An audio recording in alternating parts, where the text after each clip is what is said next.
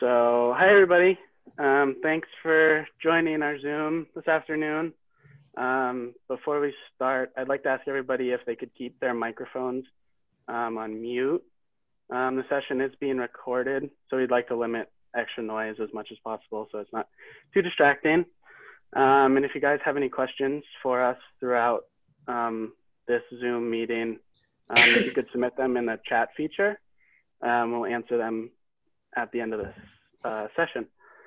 Um, so to start, my name is Eric Bonewald. Um, I'm a junior at Hobart and William Smith. I'm from New London, New Hampshire. Um, I'm double majoring in environmental science, environmental studies, and architectural studies. Um, and we're excited to have you guys here to learn a little bit more about the environmental studies program. Um, other things that I'm involved with on campus is the HWS ski team. Um, I'm one of three captains on that.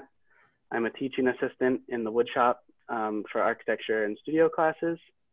Um, and I've been involved in a couple of community-based research projects, um, two specifically with each of my advisors, um, Robin in a sustainable consumption class and my architecture advisor, Professor Blankenship, who I'm taking a sustainable community development capstone course with currently. Um, so I'm here today with Assistant Professor of Environmental Studies and Chair of Sustainable Community Development, Robin Lewis, who is also my Environmental Studies um, advisor. So Professor Lewis, um, to get us started, if you could tell us a little bit about your background and some of the research you're currently working on or have been working on in the past. Sure. Thanks everybody for joining us today, and thanks to um, Eric for uh, doing the session with me. Eric and I've been working together for two years now, um, and yeah uh, building quite a portfolio of uh, good projects out of out of our collaborations. Um, yeah, so my name's Robin Lewis. Um, I always tell students that they can call me Robin. Um, my dad was a professor, so when I hear Professor Lewis, I automatically like start turning my head and looking for him. Um, so feel free to call me Robin. Um, I am an assistant professor in environmental studies. Um, I've been here, this is my ninth year at the colleges. Um, I became chair of our Sustainable Community Development um, Program in 2014, um, and that's a position I still hold. Um, and so I can tell you a little bit more about both of those. Background-wise, um, I went to a liberal arts school. I went to Miami of Ohio, where I majored, double majored in botany and geography. Um, and so my, my graduate training is in the field of geography. For those of you um, who are wondering, it's about much more than maps. Um, it's a lot about thinking about the relationships between humans and the environment. Um, today, nine years in to working at HWS, um, a couple different research projects working. Um, I do a lot with sustainability education in particular. Um, we have a first year seminar called Sustainable um, uh, Living, um, and this is one of the more unique first year experiences. So I've been doing all of the assessments on sort of how students are um, responding to that program in our curriculum as well as sort of social outcomes that I work along with the Office of Res Ed.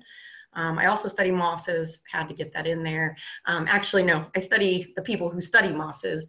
Um, happy to talk more about that, but I'll probably leave, leave that there. Eric's heard way too much. Um, well, you mentioned some of the work that we've done together, um, and we have spent a lot of time throughout the last two years. Um, and you've designed a couple of courses that are based on community um, research and community collaboration. Um, can you kind of explain a little bit more about the ways that student and faculty collaborate um, through advising and research? Sure. Um, so I'm a big fan. So when I was coming out of grad school looking for jobs, I wanted to be at a liberal arts school. And the reason I wanted that was based on my own experience of being able to work in a lab um, and um, that sort of stuff uh, while I was in college. And so HWS really uh, attracted me to come to it because there was a lot of opportunities. Um, you can do independent study projects. Um, you can do uh, what are called service learning based courses where you embed um, community based research in your courses. Come back to that in a minute. I've had a number of students who've TA'd for me, courses that they've completed um, previously and come back and served in a peer mentor role. And I've had um, a series of, I think I'm getting my eighth and ninth research student, uh, summer research student coming up um, this summer. I have a first year um, who's gonna be working with me and then um, also a rising senior.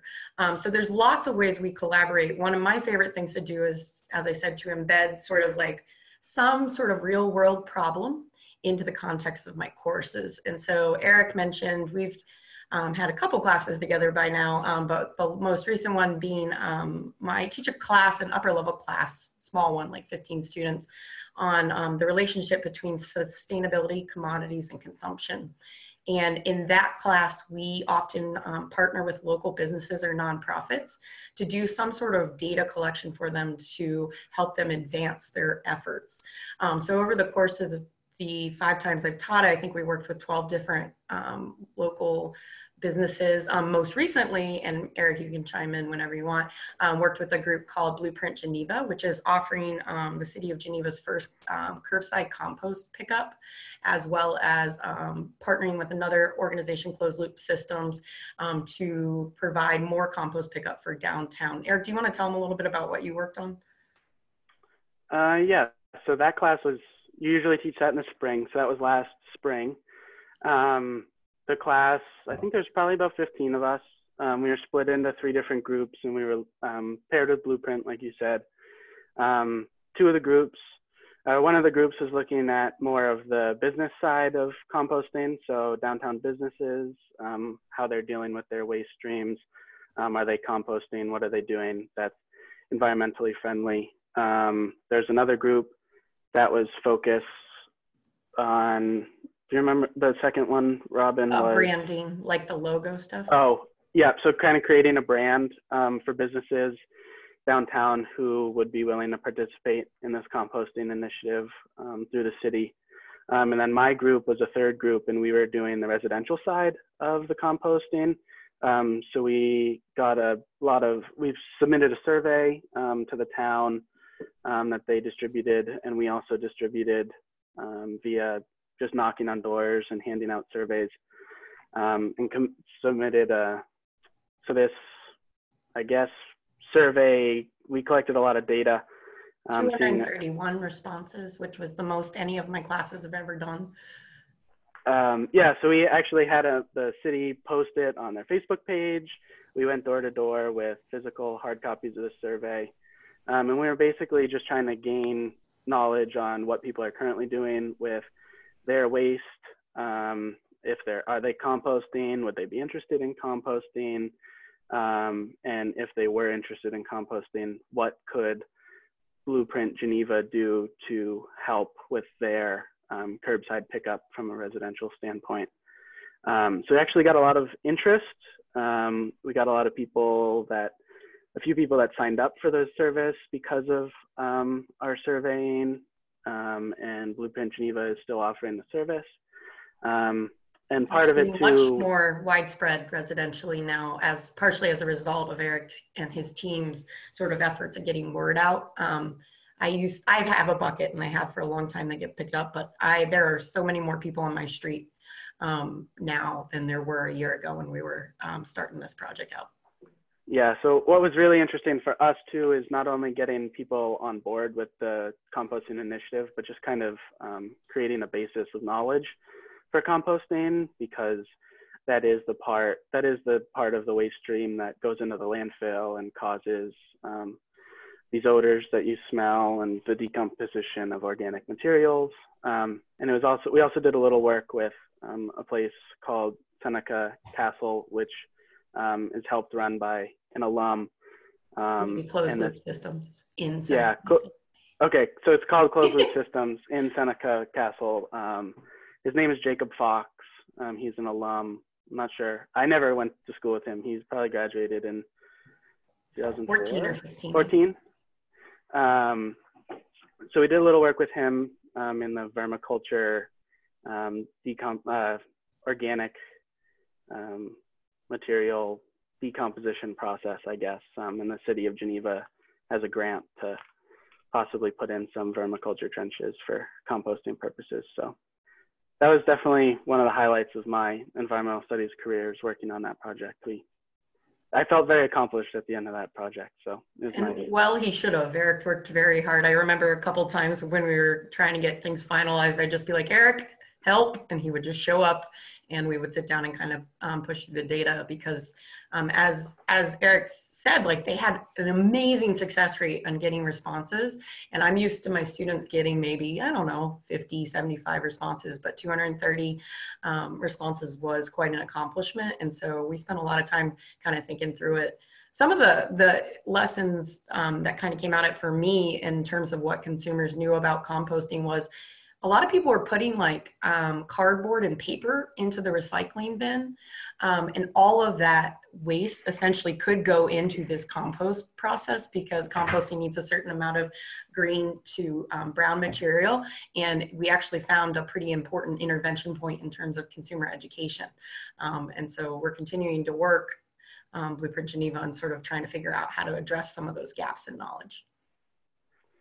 Yeah, so kind of going off of that, that's one of my experiences in the environmental studies department working with you, Robin. Um, but could you talk a little bit more about the curriculum and, and other options the student have students have to pursue um, their specific interests? Sure. The so the first thing to keep in mind is um, HW and uh, uh, there I get nervous even on camera.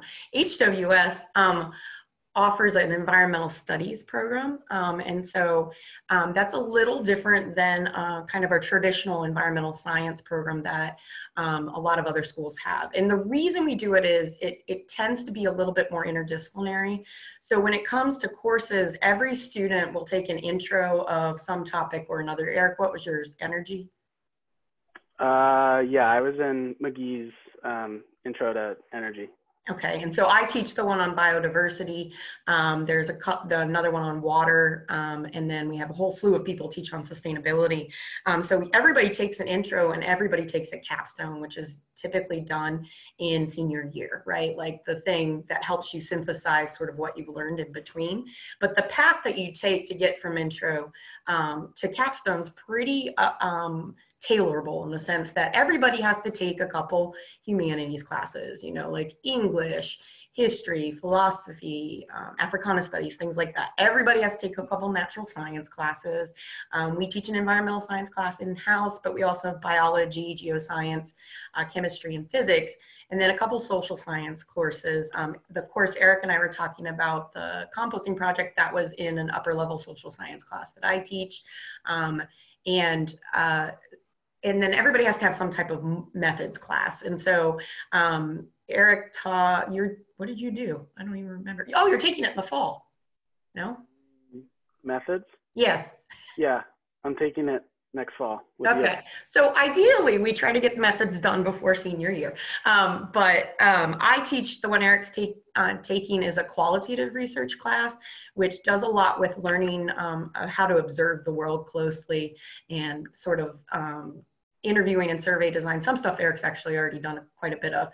Um, but we also have intro uh, or fundamentals of geographic information systems, so spatial analysis, map making, um, environmental statistics, lots of things like that. And then from there you get four electives um, and there's lots of room to sort of tailor the degree to what you want a lot of people double major. Um, some of the most popular double majors that work really well together are architectural studies, um, biology, uh, geoscience. Uh, quite a few biochemistry and chemistry double majors these days, um, and an increasing number of people double majoring in um, political science or English. Um, and so we've actually got quite a good mix of students with a lot of different interests. And because of the flexibility of the curriculum and sort of the experience that HWS um, offers, you can really kind of, um, it's not quite create your own adventure because you have a few things you have to get through, but you do get a fair amount of flexibility. Would you agree with that, Eric? Uh, yeah, I mean, right now I'm taking a natural resource law class. So that's a class that we're learning out of a book that is geared towards second year law students. um, and then on the other hand, I'm taking another class currently um, that's on environmental leadership. So we're talking about um, being a leader um, and, and the stewardship that comes with um, environmental studies and conservation and things like that. So um, there's a good mix of of uh, classes that you can take and tailor. And um, for me, um, in the architectural studies program too, there's a lot of classes that um, go back and forth. So taking like landscape architecture classes, um, there's a lot of environmental theory and design that goes into a lot of the landscape architecture um, and things like that. So there are a lot of classes that you can kind of cater to what you want to do. Um, so after graduation, I ultimately want to go into the field of landscape and environmental architecture. Um, so it's a happy medium between the two, my two majors. Um, so I think the curriculum at HWS really allows you to pursue what you want um, and the amount of classes that you can take um, through the department definitely help you um, if you're unsure what you want to do um, there's enough um, classes that you can take to kind of get you interested in in certain things. Yeah i, I would say because i've taught a series of first year seminars. I did four in a row.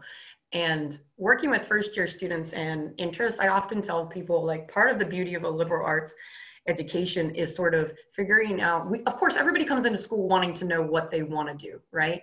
But what's equally important um, in the context of hws is figuring out what you don't want to do right? Because everybody's going to take a class that um, maybe doesn't excite them in the same way right? But then there's those moments where you get into uh, a class where you start seeing the connections from all of the classes you've taken before that really get like set you on fire and make you really excited about um, what you're doing. But that, I, for me, that's one of the biggest strengths of HWS is we, through our curricular goals, sort of, we don't force you, but we encourage you really to explore broadly, um, especially in those first two years, so that you can get a better sense of where you want to narrow in. Yeah, and it's really nice. This department itself is really nice because Thank you. Um, I have a lot of friends and other majors that um, a lot of the professors in majors like anthropology um, and history, they teach what they know, and it's kind of a, a path that you take if you're interested in this one certain thing. You end up in a lot of the same classes with the same kids, talking about the same things with the um, oftentimes similar professors. Um, but in the environmental studies department, um, all of your classes are so interchangeable and the professors are all invested in every aspect of environmental studies and environmental science. So you're not actually just following this track of what certain professors are doing. You find yourself with a good mix of um, classes, um, teaching styles, um, learning styles, and things like that. So the I department would, is definitely unique. Yeah, just to add on to what Eric's saying is there, I think there's seven or eight of us that are in environmental studies these days. All of us have very different interests, but all of us are united by one thing, and that is like the desire to keep learning. So like I often talk to my students, um, I run a fairly democratic classroom these days um, where, you know, I ask students, okay, so this thing happened, what should we do about it? Like, okay, we got a setback, how are we gonna adjust this?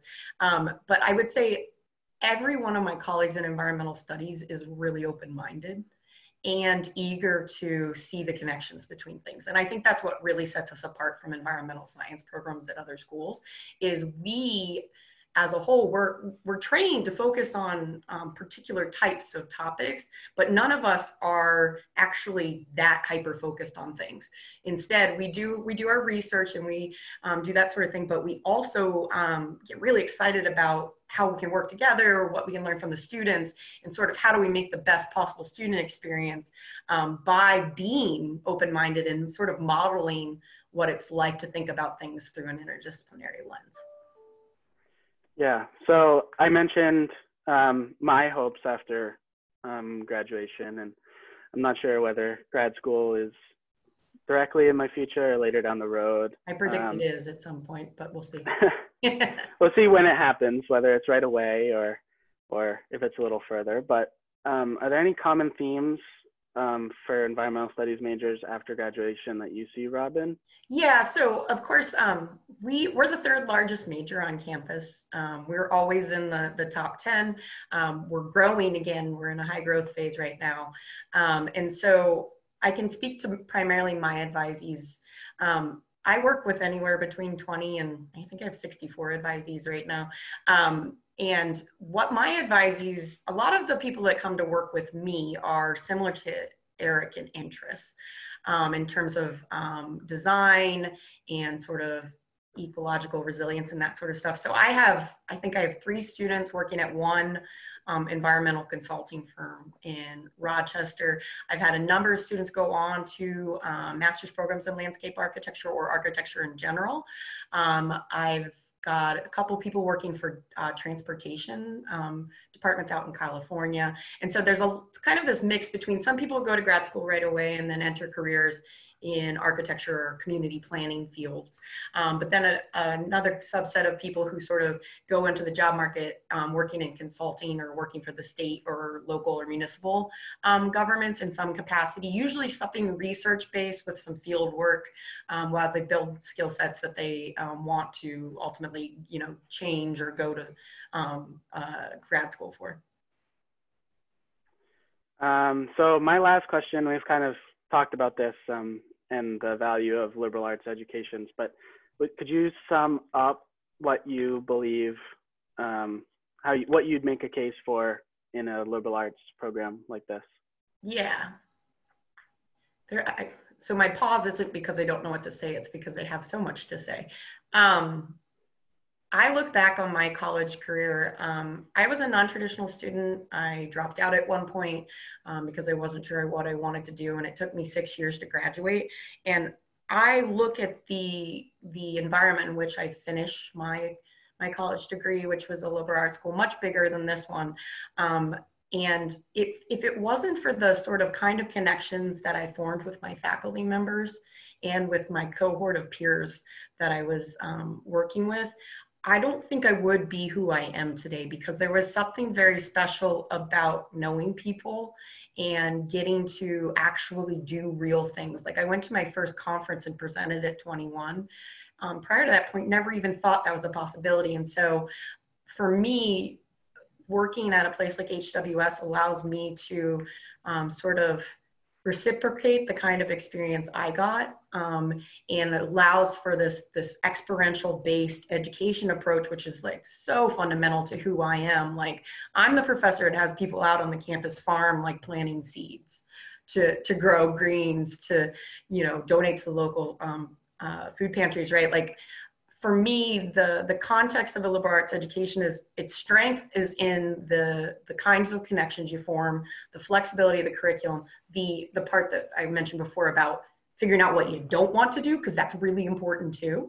Um, but for like, it's all in the sort of the community, right? Like, I can walk across campus and see any number of students um, that I've had in class. I mean, pretty good at remembering people's names. Um, like, I love the fact that we can sort of drop by right before uh, spring break. Eric, I heard this like coming up the stairs, and Eric walked into my office on crutches because he blew out his knee skiing or whatever. But like, I like the fact that we have that level of comfort where we can sort of um, build build these relationships and um, maintain them like post grad. Like I talk to so many of my students that I've worked with still. Um, some of them have become such good friends, and I'm so grateful for that. And I don't feel like I would have that capability if I was at a bigger school. I don't. Is that helpful? yeah, I can't agree more. I mean, I was like, you can't agree. Connections, uh, the connections are amazing. Um, and with all my professors, I mean, Robin's my advisor, so I spend a lot of time with her. But um, just popping into the office and seeing any of my professors, um, even professors that I've never taken a class with, know who I am because we run into each other all the time and um, we're involved in things on campus. So it's it's a nice, it's a great community to be a part of. So absolutely. Um, so thank you, Robin. Um, and if you guys haven't already, um, feel free to put a couple of questions um, in the chat and I've seen a couple pop up. Um, so the first question for us, Robin, is how many students are in the environmental studies department? Ooh, um, we graduate. Uh oh, this one I feel like I should have been ready for. Um, well, considering I have 64 advisees and there are eight of us, I would say that we're probably well over 200 um, students who are either majoring in mining. I, I tend to have one of the higher um, advising loads for whatever reason. Um, but yeah, I would say we're on average graduate anywhere from 50 to 70 a year. Um, a lot of people do come to us late, um, figuring out like, oh, I was going to do a minor, but it turns out I only need three more classes. I've got these room in my schedule, so how about I double major? Um, and so that does happen a fair amount too. Um, but Mary, I can get back to, I'm not actually sure how many, but I know that we are growing um, quite a bit right now.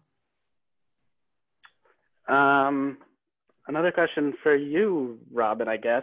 Um, if you're interested in both intro to water and intro to energy, can you take both? So technically, yes, you can. Um, but we as a department only um, require one intro class. Um, and the reason that is, is um, our intro class have all of us work on the same 10 kind of things about skill building and sort of stuff. So while you would get some maybe different topical knowledge by taking two, you would get some repeat um, skill building that we think it's actually better for you to, to choose one of the topic classes and move into and sort of specialize or get that that breadth um, at our 200 level classes. Um, but I have an advisee right now who's taken, took intro to climate change in the fall and now is doing the sustainability one. And, you know, he's like, oh, it's not gonna count, that's a bummer. But he's also glad because he's got another cohort of students from intro that he knows um, as he moves forward towards his major. Yeah, and there are plenty of opportunities um, later on in your career um, in college to take a class that might be a little more um, heavily focused on um, water and the issues surrounding um, water quality and things like that. Um, should you take intro to energy and not want to go back and take another intro class, there are definitely possibilities to take classes later on um, so how does HWS help students after graduation with jobs, grad school, law school, etc.? I see my cat has joined us. This is Piper. um, uh, so we have a very strong career services um, program that does a lot of work with students in terms of resume building and matching to internships. We also have a guaranteed internship program. Um, and so I can't speak to the specifics on that, but I know that students I've had that have gone on to work in the environmental sector will often send us ads about needing or wanting interns and we'll sort of connect them. One of Eric's um, uh, he was uh, architectural studies, sustainable community development minor. Um, did some an honors project on a on local streetscape, sort of designing a street to be uh, more accessible and inclusive. He now works for the company that he partnered with on his honors project. So we have a lot of alum connections that work out really well. And of course, the faculty are always happy um, to serve as references and look over, you know, grad school applications and that sort of stuff. Um, because we really like we are as a whole really dedicated to seeing everybody um, get the most out of this and supporting them wherever their paths take them after school. Yeah the career services is is a big part in helping everybody later on. Um, there's a lot of faculty members that are um, i don't know exactly what their titles are but there are faculty members who um, chair these kind of sub departments. So like the pre-law department. Um, They're called pre- professional programs. Okay, so the pre-professional programs, there are professors that are um, kind of assigned or volunteer for those positions to help advise students who are going into certain fields. If you want to go into the field of um, law or pre-med, um, yeah. things like that. So some of those post-professional um, careers have specific um, help that they get yeah. from dedicated advisors and, and, the faculty as yeah. a whole know like if you're interested in law send them to brophy if mm-hmm. you're interested in pre-health send them to scott mcphail right like um, those resources are pretty pretty easy for us to to pull up i work with i don't know how this has happened but um, I, I, actually work with a lot of students in health professions. Like I write anywhere from two to three letters for um, people to get into med school or osteopathic medicine school like every year. Um, because a lot of the students who do go on to the natural sciences are quite interested in health professions. Um, your friend Matt, for instance, Eric, um, right? Like, uh, mm-hmm. and so they, they still have room like to take things, other things they're interested in, um, rather than just like hyper focusing on the natural sciences. Right. Um, so the next question is, what resources on campus, such as green spaces and a lake, are utilized um, by the environmental studies program? Um, I want to make a so, big claim here and say pretty much all of them. Um, yeah. is that why you're shaking your head? Yes. Yeah, I mean, there are so many different places on campus that we use. Um, I know a lot of the geo department uses the little streams that run through campus. They do yeah. um, studies on like parking lot runoff. Um, so even the spaces that aren't green spaces, like the parking lot and the turf field, um, a lot of geoscience and chemistry departments are using even those places around campus to conduct um, research and surveys and things like that. Yeah, the thing I would say is like um, environmental studies, we as a faculty sort of see the campus and sort of the city of Geneva as a living laboratory. So um, I am one of those people, and I'm sure many people on the call are the same, where like I don't like I don't mind being in a classroom talking about things, right? But like where it really comes to life for me is out doing things. And so, you know, like I don't I we use the the spaces of the campus as ways to experiment with the things we're talking about. Um, I, you know, we've had a campus farm for the last few years, which has been a huge part of the environmental studies program. We constructed a small greenhouse there. We've grown lots of food. Um, we've used it for food preparation, that sort of thing. Um, we do have a boat called the William Scandling that um, some of my colleagues in environmental studies do. I'm not an aquatic sciences person. Um, myself, I'm, I'm a more, you know, terrestrial plant person, um, but uh, lots of opportunities on the lake. Summer research here is just an absolutely incredible, I don't know, it's like 100 to 200 students a summer or something um, who apply to work with different faculty um, who get the sort of experience of collecting and analyzing data themselves. Um, and those opportunities are readily available. Um, for me, I think a lot of students don't always take uh, advantage of those opportunities, but um, there's definitely a lot of opportunity for sort of engaging the, with the campus um, in data collection and that sort of thing. Um, the other thing I would say, and Eric, you can chime in about this with the project you're doing with Jeffrey right now, um, is that downtown we have um, the Bozzuto Center for Entrepreneurship, um, uh, the Sustainable Community Development, which program, which I'm chairing, which is kind of environmental studies we're still figuring that part out. Um, we actually have our physical space downtown with our drafting tables and our supplies and everything. And so the Bozzuto Center for Entrepreneurship, located 22 Castle Street, right, right in the middle of the city, um, provides us a good anchor point into the, the, community so we can guest, have guest lectures or go out and actually like physically walk around and um, collect um, data and that sort of thing. Do you want to talk about your project? Uh, yeah, so for the Sustainable Community Development um, minor, um, I'm in the capstone class. It was originally going to be um, co-taught with Robin and um, Professor Blankenship, um, who are actually both my advisors. Yep. Um, so we originally were working with the city of Geneva and some of the planning board and planning committee um, to help redesign some of the streetscapes in Geneva that had issues with sightline problems, traffic problems, speed issues, um, so a lot of times um, professors will reach out to the community, reach out to the city, or vice versa. The city will reach out to um, professors in certain departments and say, hey, we're thinking about doing this. Um, would love to get a little more research, gain some research, gain, gain some perspectives from the community. Can you guys um, help us out? Um, in this instance, um, Sage, who is the city director, her, she's a city manager. Um, so we've been working with her um, to redesign and come up with some alternatives to streetscapes, um, creating um, more visibility on streets, um, deal with some parking issues and stuff. So that's that has to do with um, the development, the community development aspect yeah. to create safer safer roads. Eric, do you know if we can can I screen share? Yes. I have the ability. So I'm just going to pull up. So this is a sustainable community development program. I this picture of me is very interesting.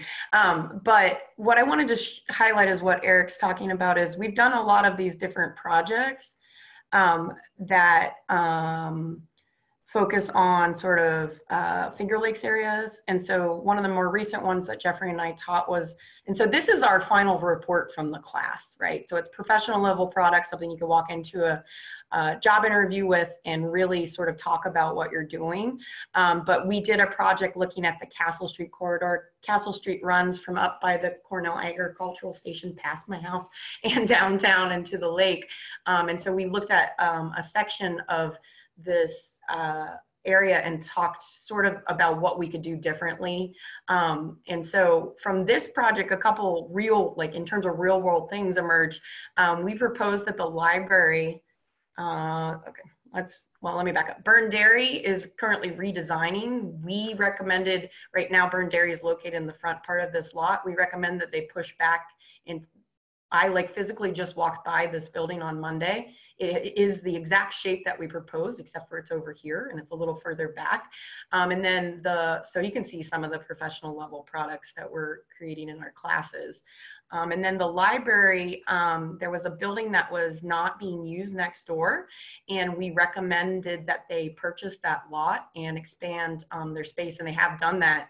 Um, and they're currently they're putting in a parking lot, which is not what we recommended, but um, our our sketches and things like that were used in the grant funding proposal that the Finger Lakes our um, the city of Geneva's library used to actually secure the funding. So one thing I want to keep stressing and something that environmental studies is really dedicated to building is these these hands-on experiences where you get out of the classroom and you go out and you try to do things. Um, a lot of our communities around here don't have a lot of, you know, there's not always a lot of resources. So having a, a group of um, 15 students and a professor sort of hive minding on how to troubleshoot a problem can often be the first step towards securing that grant funding or making that change that allows the communities to feel um, more resilient and healthier.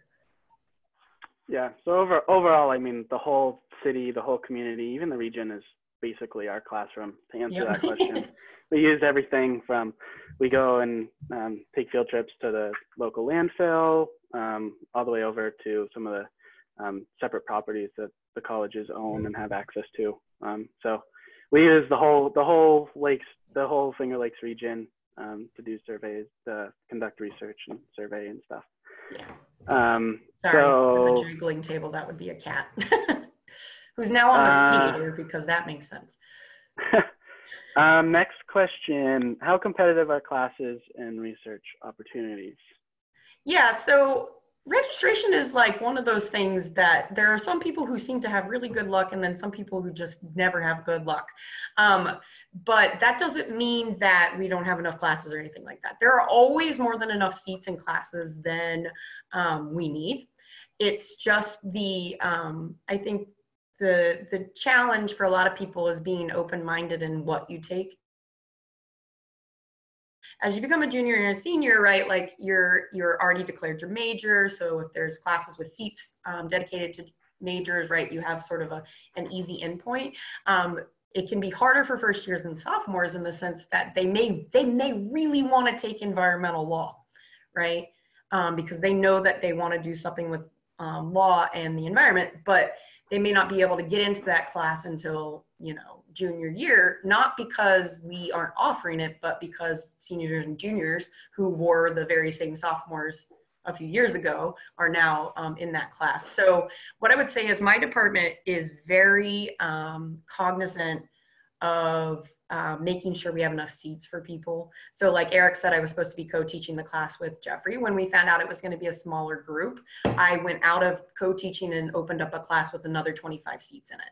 Um, and so we're kind of constantly paying attention to those enrollment things and being as responsive as we can, um, because the last thing we want is for students to get like locked out of classes. And I think that's that's like a good sentiment across the faculty across the board because you all are here and we want to give you the best opportunity we can. So while I can't say we can guarantee that there, there are seats in every class. I do know that we as a faculty work really hard um, to make sure in the advising process to be wise in sort of what we're recommending, but also to be responsive um, to, to what student need is.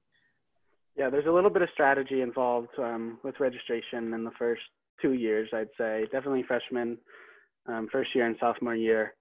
Um, it's a it's a it's a little bit of a struggle to get classes, but it being liberal arts education, you have these other criteria that you need um, to meet by the time you graduate.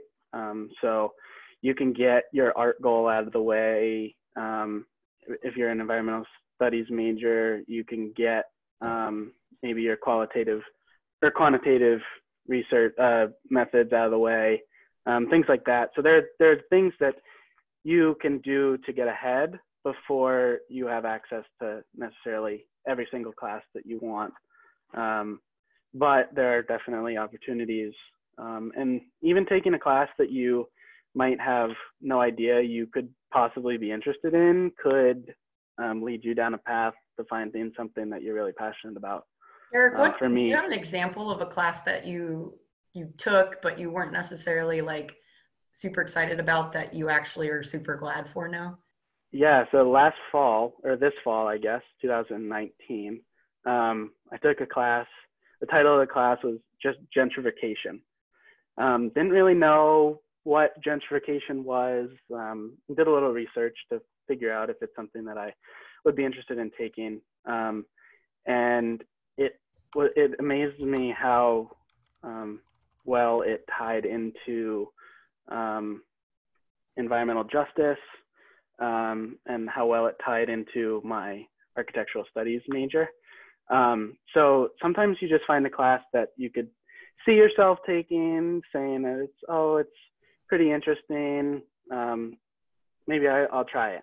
And that was one of the classes for me that um, I wanted to just try. There's open seats available, and I said, Pretty sure not? I probably pushed you towards that one, didn't I? I think you did, or that might have been one that I picked out, and you were like, "Yeah, you got to, you got to do that. You got to do that." Yeah. Um, so I'm actually really happy. Um, I had an amazing relationship with the professor, um, and a lot of those upper level classes, when you get older to be a junior and a senior, um, a lot of the final product of the classes are re- your own research papers, your own research projects. Um, so that class actually ended with a little bit of a research project that I took as um, a little bit of an environmental studies route um, to check to see what's going on around my hometown, um, one of the lakes that I live near, um, and the gentrification that's going on and what that's um, creating from an ecological perspective and lake health perspective. So even taking those classes that you don't think you necessarily would enjoy or you don't think that they'd fit in um, with your major or minor, um, just gaining new perspectives from classes like that is so it's very so beneficial to your learning. Um, so definitely don't get discouraged. I would say, no matter where you are, from taking something that doesn't initially seem to interest you because it will fit in with what you want to do. I promise. Yeah. And the one thing else I wanted to add about classes is um, there. So um, you know the students who are going to be sophomores just registered yesterday, I think. But what you need to know about if you're you, you're coming in as a first year student is we always reserve a ton of seats.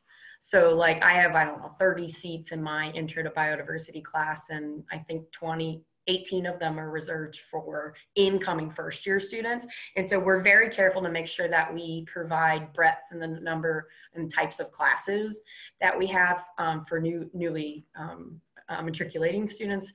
Um, yeah, and so there's a lot of care and concern that goes into the sort of logistical planning of all of this um, that's sort of behind the scenes. And I think Eric's point about not getting discouraged is important.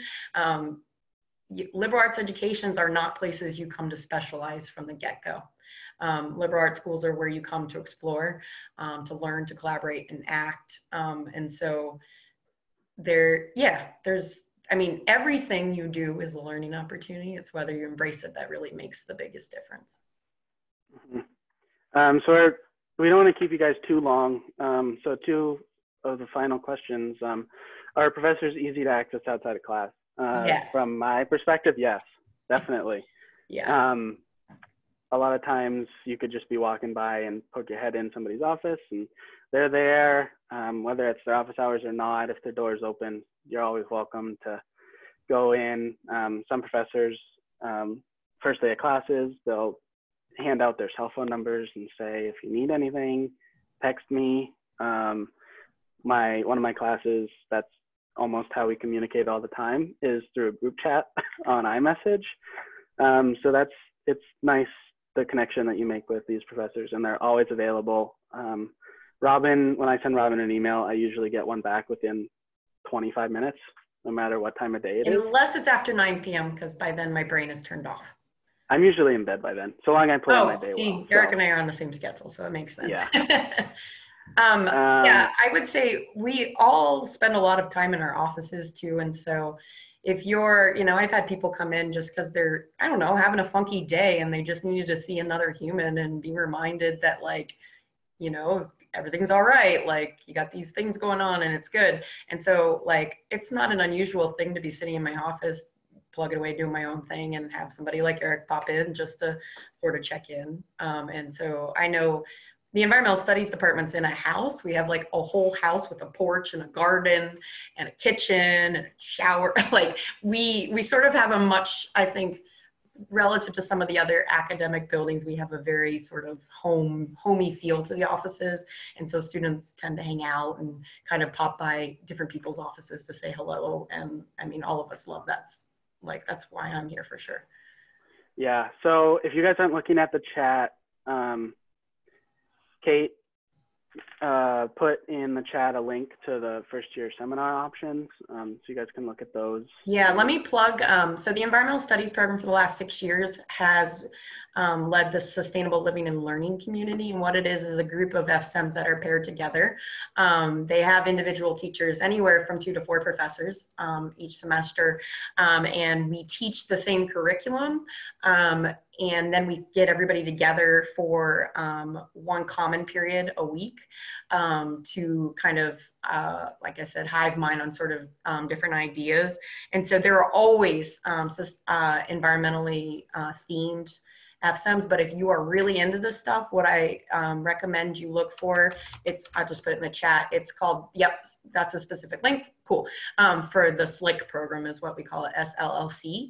Um, and if you have questions on um, the SLIC program, you can feel free to reach out um, to to me or to uh, Tom Drennen, who is sort of like the person who's been doing a lot um, with the program as well and that one of the best things about SLIC is everybody sort of lives together in the same residence hall. Um, and so our research, which I said I've been leading on on this stuff, um, indicates that students that go through the SLIC program are more socially connected and feel more supported. Um, than um, maybe might be possible at other schools. Um, so if you're really looking for sort of a built-in community around the things you're passionate about, um, the SLIC program is a great opportunity. And a lot of other um, first-year seminars are uh, learning communities, so you have lots of options in that regard. Robin, I just put both of our oh, yep. Um, emails in there. Um, I think I got your, I think yours is Lewis.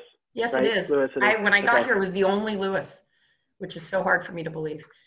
So both mine and Robin's emails are in the chat. Um, feel free to reach out to us with any questions you guys might have. Um, Anybody wanna... in admissions can also get you in touch with me. And as Eric says, we communicate pretty regularly. So if you want to follow up with him um, and you don't, you can't find his email, let me know and I can get him on the line for you. Sounds good. So thank you, everybody. Thanks for joining us. And thank you, Robin. Yes, of course. Thanks, Eric.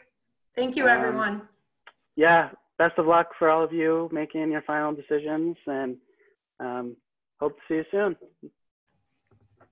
Thanks, everybody.